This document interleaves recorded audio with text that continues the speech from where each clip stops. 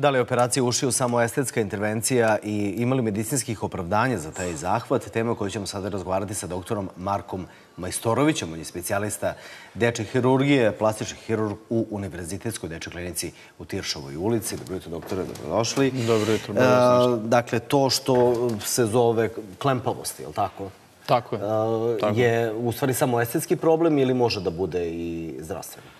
Pa to je primarno estetski problem. Međutim, e, kao što znate, u, postoje određene dogme u ovaj, našem narodu šta je lepo, šta nije lepo. Pa prema tome, oni koji se razlikuju uglavnom bivaju zadirkivani od strane dece. A ovaj, kao što znamo, deca u svoj, svojoj naivnosti znaju da budu izuzetno surova.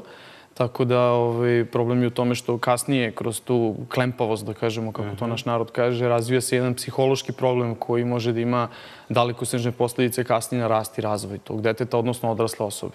Mhm, Dobro, ali da li moguće ispraviti to recimo uh, u ranoj nekoj fazi? Devojčicama stavite neku traku pa da malo stoji ta traka da bude i estetska, a da u stvari to nekako vraća uši u normalu ili vojite računa kada stavite bebu da uh, spava pa da prosto to uvo ne bude presavijeno jer će onda ostati... Pa znači, generalno pričamo, ako pričamo o ranoj fazi, znači onda ajde da pričamo o nekoj fazi u toj uh, dečijem, dečijem uzrastu od uh, godinu dana pa nadalje, recimo, možda čak i nešto malo pre.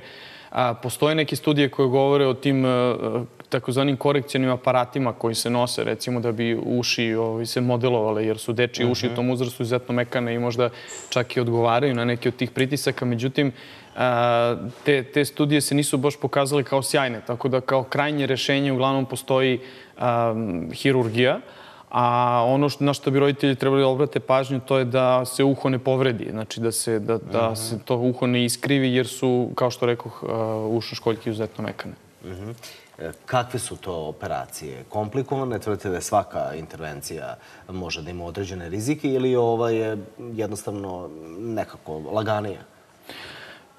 Kako bih vam rekao, ove, mislim da, da nisu jednostavne. One jesu površne operacije, znači ne, e, ne ugrožavaju životno pacijenta, pogotovo ako radite e, operaciju lokalne anestezije, jer svaka opšta anestezija je dodatni rizik. A, ali problem je u tome što svako uho je u stvari svoja priča. Znači, čak dva uha na istom, na istom čoveku nisu ista.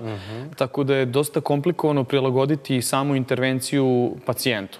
I ono na što treba posebno da se obrati pažnja, to je neki uh, uh, preoperativni, preoperativna priča sa, sa pacijentima i uopšte ispitivanje tih ušiju kako bi se došlo do zaključka koji, uh, koja vrsta operacije, to jest koja tehnika, odnosno koja modifikacija tehnike je najbolje rešenje upravo za A tog koliko pacijenta. ima tih tehnika? Jako puno. Jako puno što vam u stvari govori da nijedna nije idealna. Znači ne postoji formula po kojoj možete napraviti uho. Znači postoje neke uh, veličine i uglovi uh, uh, ko, za koje se smatra da su idealni, tipa 20 do 30 stepeni da uho štrči ili, ili 1,5 do 2 cm od glave. Međutim, to sad zavisi od strukture lica, od veličine nosa, očiju, samog oblika lica i uopšte stava pacijenta. Znači, dolaze pacijenti koji operišu neke druge stvari sa izuzetno izraženim klempim ušima kojima to ne smeta, a s druge strane imate pacijente koji dolaze sa minimalnim deformitetima i kojima to jako smeta. I šta im vi onda kažete? Da li krenete prvo sa savjetima i, e, i pođete od vašeg subjektivnog mišljenja? Da li je to lepo ili nije? Da li je dobro? Da li treba raditi? Da li će imati uspeha i u procentu ili ne?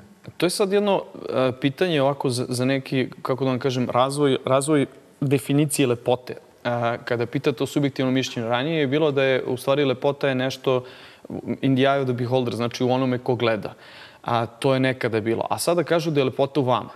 Znači, šta to znači konkretno? Znači, kada se vi pogledate ujutru u gledalo, ako vama nešto svakoga dana smeta, a, a to može da se reši, to bi trebalo da rešite. Tako da u suštini e, e, jedini pacijenti koje ja lično, a i moje kolege iz Tiršove ove, odgovaraju od operacije klampovih ušiju, uh -huh. jesu pacijenti e, koji su previše mladi za to. A u stvari ne odgovaramo njih, nego njihove roditelji. Uh -huh. Jer poenta je da vrlo često roditelji dovode decu, ovaj, sad, da li zato što, se, zato što se njima ne sviđa taj oblik ušiju ili zato što su oni kao u mladosti bili zadirkivani zbog istih takvih ušiju, pa onda uh -huh. žele da njihovo dete to izbogne. A to dete nije primetilo? To dete nije primetilo. Poenta je u stvari u uzrastu. Znači, pre pete godine se te operacije ne rade generalno zbog nezrelosti usne školjke, a ovaj, posle pete godine suštinski zavisi od samog deteta. Znači, prvo moje pitanje kada roditelji uđu u ordinaciju jeste, izvinite, je li to vaša želja ili želja deteta? E, od toga dalje zavisi naš razgovor. Znači, ukoliko je to želja roditelja, ovaj, onda, onda? onda, im, onda im je neophodno objasniti da dete koje nije motivisano za operaciju ima veliku šansu da napravi recidiv. Recidiv je da se, da se to uho ponovo isklempavi, da tako kažem. Zbog toga što je postoperativni period e, zahteva angažovanje e, pacijenta i angažovanje roditelja. Dete koje ima, recimo, ne znam, e, pet godina i koga njegove uši generalno ne zanimaju, koji izađe napolje se igra loptom i sa drugarima, ovo, ono neće paziti na svoje uši tri meseca. A dete koje je motivisano, koje samo želi da se operiše, koje zna zašto to želi, ono će tekako paziti na svoje uši i to je šansa za uspeh mnogo, mnogo veća. Da. Puno hvala, doktor, što ste bili gosta u programu, što ste govorili o ovoj temi.